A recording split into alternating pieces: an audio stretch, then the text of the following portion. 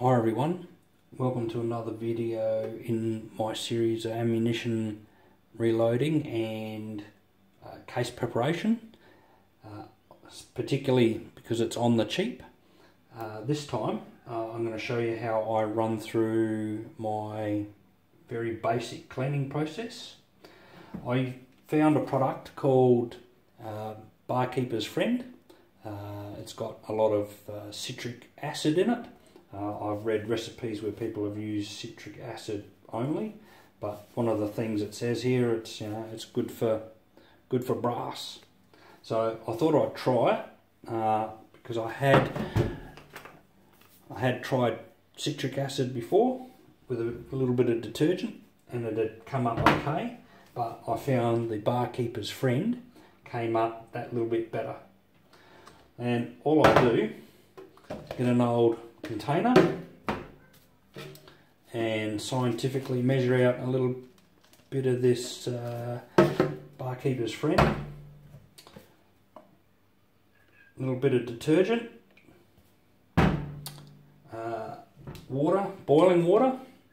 I mean, you could probably get away with this hot water out of the tap, but I prefer boiling water. And you know, I've got a handful of rounds that I'm going to to drop in. Alright, drop them in uh, and stir it up.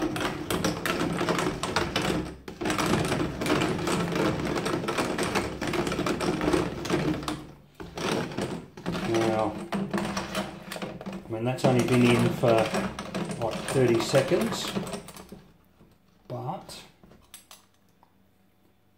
it is hot that was that's how the round looks now. And that's one that hadn't gone in. Then I set it aside for an hour. And then come back and rinse them out. So here's some that I did a little while ago about uh, 90 minutes and you can see you know they've come up reasonably well.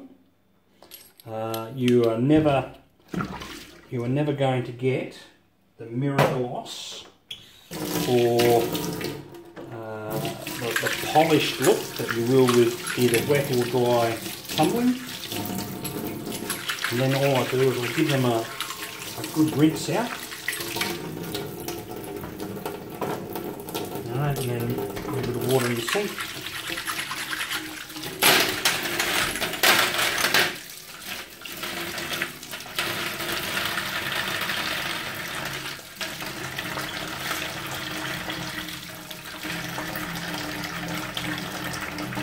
And you can see, well hopefully, the light's good enough, and the primer pockets, primer pockets, you know, pretty clean already. But sometimes and they don't clean out that well all the time. And I just get the Lee Primer Pocket uh, Cleaner. Just give it a little scrub like that. Rinse it out. And then, you know, I won't dry them individually. I'll put them in a you know, a towel, rub them, you know, dry. Then I'll, depending how warm the weather is, I'll either sit them outside in the sun for a day or so.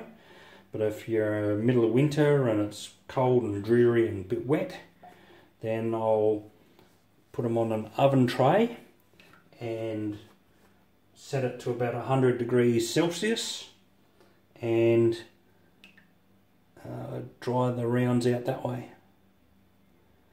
Right, so that's it.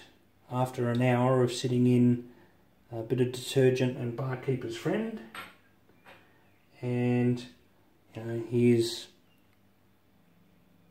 the round that hadn't gone in. So I'm pretty happy with that result. Uh, it's good enough for me to see whether there's any faults with the case, uh, you know, if there's any pressure issues or uh, issues with the neck or uh, you know, case starting to split or separate. Cleans out the pockets. Does, you can't really see, but it does a pretty good job inside the case. And uh, this well, you probably get it cheaper, depending on where you live, but it's about eight dollars Australian in supermarkets here, and a little bit of you know, ordinary dishwashing detergent, and that does the job for me.